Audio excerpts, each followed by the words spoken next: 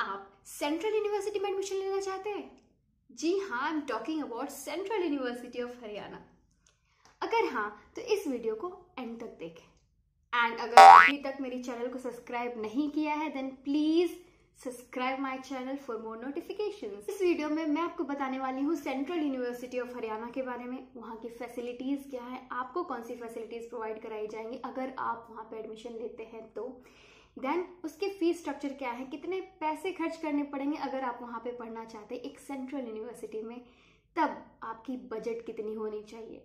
Next आप वहाँ पे एडमिशन कैसे ले सकते हैं? दिस इज़ मोस्ट इंपॉर्टेंट कि आप वहाँ पे एडमिशन कैसे ले सकते हैं? अगर इजी होता तो बहुत सारे बच्चे ने एडमिशन ले लिया होता but no there is an entrance exam we will talk about this okay so start करते हैं आज का video central university of Haryana is one of the fifteen new central universities established by the human resource development of india that is government of india under the central university act 2009 of the parliament the university has been credited with a grade under the first cycle of NAC assessment this university has been listed among the top 150 universities in the ranking of NIRF the university is fully funded by the University Grant Commission. अगर मैं इसके campus की बात करूं then it's almost 500 एकड़ जी हाँ ये university all around 484 acres कह सकते हैं approx 500 acres of land at Jantpali villages, Mahendragarh district of Haryana, from where CUH is running its academic operation. Presently, the university offers 83 academic programs, PG, UG as well as the research courses. आपके पास बहुत ज़्यादा opportunity है कि आप किसी भी course में according to your subject combination आप किसी भी कोर्स में इनरोल हो सकते हो and you can be the part of the central university of Haryana as I said कि ये यूनिवर्सिटी आपको 83 कोर्सेज प्रोवाइड कराती है अपार्ट फ्रॉम दिस इस यूनिवर्सिटी में बहुत सारे स्कूल्स भी हैं। फॉर एग्ज़ाम्पल अगर मैं बी की बात करूँ then that is school of education तो इस तरीके से टोटल एट स्कूल्स है। I list the name school of basic sciences school of business and management studies school of education school of engineering and technology school of humanities and social science school of interdisciplinary and applied sciences school of law school of life long learning And apart from this, you have different departments. For example, Department of Biochemistry, Department of Biotechnology, Department of Chemistry, Department of Civil Engineering, Department of Commerce, Department of Computer Science and Engineering, Department of Computer Science and Information Technology, Department of Economics, Department of Electrical Engineering, Department of English and Foreign Languages, Department of Environmental Studies, Department of Geography, Hindi, History and Archaeology, Journalism and Mass Communication, Law, Library and Information Science, Management Studies, Mathematics, Microbiology, Nutrition Biology, Pharmaceutical Sciences, Physical Education and Sports Physics and Astrophysics as well, Political Science, Printing and Packaging Technology, then Psychology, Sanskrit, Sociology, Statistics, Tourism and Hotel Management, yoga, vocational studies and skill development. Last is teacher education. So you can see there are total 34 departments as well. तो आपको ये university बहुत सारे courses offer करती है so you can select according to your choice and according to your subject combination okay so now I will talk about the facilities जो आपको ये यूनिवर्सिटी प्रोवाइड कराती है virtual classes wifi facility sports facilities University Health Center, Hostel, Guest House Facility, Bank with ATM Facility, Post Office, Transport Facility. अब मैं बात करूँगी hostel charges and mess charges की ठीक है? तो अगर आप हॉस्टल में रहते हैं आ, आपके पास दोनों ऑप्शंस है। आप या तो कैंपस के अंदर हॉस्टल में रहें और आप चाहे तो बाहर भी रह सकते हैं ठीक है? लेकिन सभी लोगों को हॉस्टल अलॉट नहीं किया जाता है। आपको हॉस्टल अलॉट आपके मार्क्स के बेसिस पे, अगर आपने अभी एडमिशन लिया है तो जितना कट ऑफ़ गया है, वो एक बेस बनाते हैं और जिसका ज़्यादा मार्क्स आया उसको हॉस्टल अलॉट किया जाता है। जिसके कम मार्क्स आते हैं, वो उन्हें बाहर शिफ्ट करना पड़ता है। और बीएड में ज़्यादातर यही होता है, क्योंकि बीएड में मैक्सिमम स्टूडेंट मतलब मैं कह सकती हूँ more than one hundred students admission लेते हैं इस यूनिवर्सिटी में। तो उतना हॉस्टल में फैसिलिटीज़ नहीं मिल पाती कि सबको हॉस्टल अलॉट किया जाए। तो बहुत सारे लोग हॉस्टल कैंपस के बाहर भी रहते हैं। बाहर पे आपको आराम से पीजी मिल जाती है।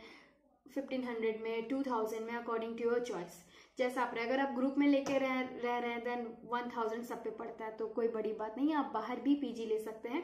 और अगर आपको हॉस्टल अलॉट कर दिया जाता है देन दैट्स द बेस्ट क्योंकि जो आपको फैसिलिटीज़ हॉस्टल में मिलेंगे, वो डेफिनेटली आपको पीजी में नहीं मिलेगा।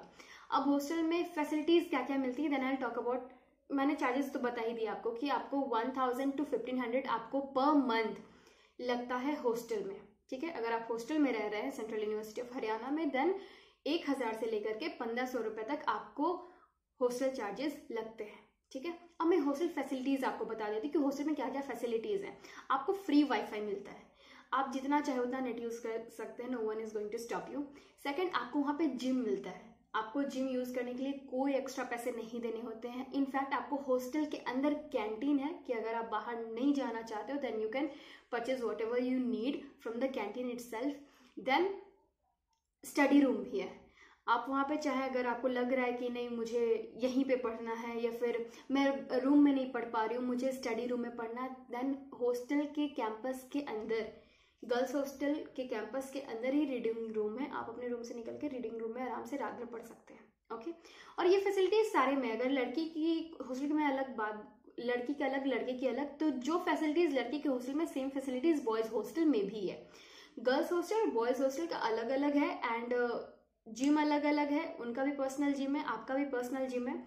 देन रीडिंग रूम वहाँ भी है रीडिंग रूम यहाँ भी इनफैक्ट आपको हॉस्टल के अंदर लिफ्ट की सुविधा है।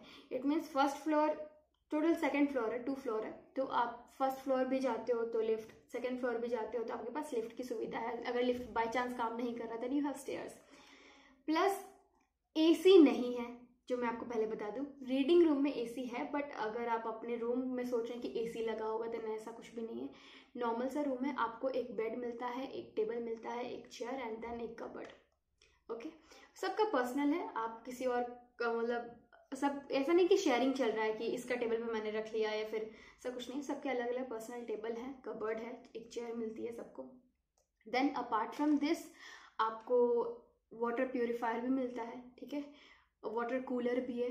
So you have different facilities in hostels as well और टोटल गर्ल्स हॉस्टल की मैं बात करूँ then total four girls hostels आ गए। चार गर्ल्स हॉस्टल है, तीन तो मेरे सामने बने थे। Asima Chatterjee, Kalpana Chawla and Janaki girls hostel एक और न्यू रेनोवेट हुआ है। I don't have idea about its name but तीन गर्ल्स हॉस्टल तो मेरे सामने थे। बॉयज़ का भी सेम है।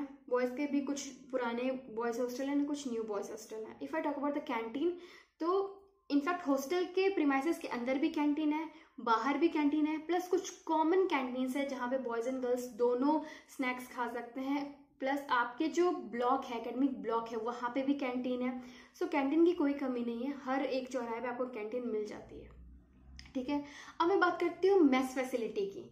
तो खाना आपको तीन टाइम दिया जाता है हॉस्टल में morning so we can say that breakfast lunch and dinner snacks नहीं मिलता है जस्ट बिकॉज़ की कैंटीन आपके कैंपस के अंदर है आपके हॉस्टल प्रीमाइसेस के अंदर है तो आप वहाँ से कुछ भी खरीद के खा सकते हैं। सो so, uh, शाम में आपको कुछ भी नहीं दिया जाता तीन टाइम का खाना मिलता है ब्रेकफास्ट लंच एंड डिनर और इसके लिए आपको monthly three thousand and five hundred rupees pay करना पड़ता है। साढ़े तीन हज़ार कह सकते हैं आपको मेस का चार्ज लगता है। और और अगर मैं mess charges plus hostel fee combine कर दूँ देन अप्रॉक्स या फिर ओवरऑल आपको five thousand rupees per month खर्च करना पड़ता है to live inside the campus in particular hostel okay अब मैं बात करूँगी एक क्वेरी की जो मुझे बहुत दिनों से कमेंट बॉक्स में आ रहे थे कि उन्होंने कहा कि उन्होंने मास्टर्स किया है जोग्राफ़ी से तो क्या वो बीएड में भी जोग्राफ़ी ले सकते हैं और जोग्राफ़ी से बीएड कर सकते हैं? तो मैं आपको ये बताना चाहती हूँ कि बीएड एक प्रोफेशनल कोर्स है, ठीक है? वोकेशनल कोर्स है। आपको इसमें कैसे पढ़ाया जाता है, ये सिखाया जाता है। आपको यहाँ पे जितने भी सब्जेक्ट दिख रहे हैं ना, आपको इनमें से ही कोई एक सब्जेक्ट अपने लिए सेलेक्ट करना होता है। फॉर एग्ज़ाम्पल अगर आपने जोग्राफ़ी लिया है मास्टर्स आपने जोग्राफ़ी से किया है then pedagogy of social science ये आपको लेना होगा। क्योंकि आपका जो जोग्राफ़ी सब्जेक्ट है इस सोशल साइंस के ही अंदर आता है, ठीक है? अगर किसी ने बायो लिया है तो यहाँ पे आपको कॉमनली कोई बायो नहीं दिख रहा होगा कि कोई बायोलॉजी है तो आपको वो क्या है? लाइफ साइंस लेना होगा, क्योंकि लाइफ साइंस के अंदर ही आता है आपका बायो ठीक है? फॉर एग्ज़ाम्पल मैं कॉमर्स की स्टूडेंट हूँ, ठीक है? तो मैंने इकोनॉमिक्स लिया एंड कॉमर्स दो एनी टू आपको क्या करना होता है? इनमें से कोई दो सब्जेक्ट लेने होते हैं। तो मैंने इकोनॉमिक्स लिया था एंड कॉमर्स बट आप क्या लोगे? सोशल साइंस अंडरस्टूड क्लियर है? इट आपको बीएड में सिर्फ़ ये सिखाया जाता है कि आप क्लासरूम मैनेज कैसे करते हो? बच्चों से डील कैसे करते हो? ठीक है? एनी टू लिखा हुआ है ना ऊपर तो यहाँ पे आपको दो सब्जेक्ट सेलेक्ट करने हैं। अगर आपने जोग्राफ़ी लिया है डजेंट मैटर फिर आपने इसके अलावा और जो एक सब्जेक्ट अपने ग्रेजुएशन में दो साल पढ़ा होगा, वो सब्जेक्ट आपको यहाँ पे सेलेक्ट करना होगा। आपने ग्रेजुएशन तीन साल एटलीस्ट किया होगा, तीन से चार साल।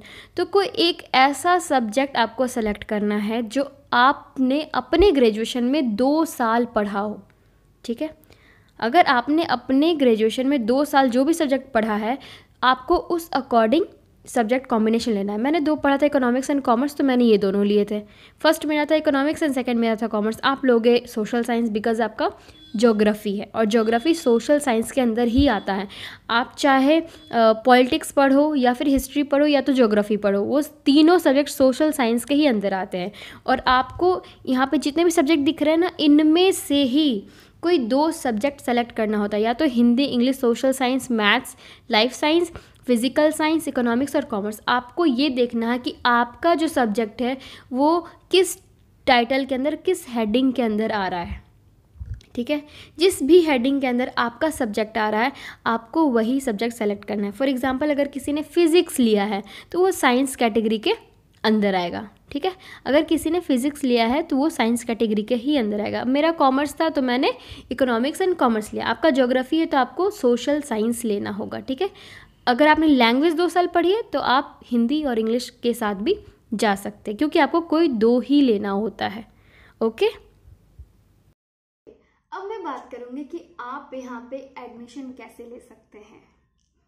बहुत इजी है। कुछ नहीं करना है आपको बस एक अच्छा वेबसाइट ढूंढना है। फॉर एग्जांपल मैं प्रेफर करती हूँ सरकारी रिज़ल्ट डॉट कॉम तो अगर आप वहाँ पे जाते हैं तो आपको एक एडमिशन का ब्लॉक मिलता है। एडमिशन के ब्लॉक में C U E T common university entrance test का एग्ज़ाम आपको देना होता है।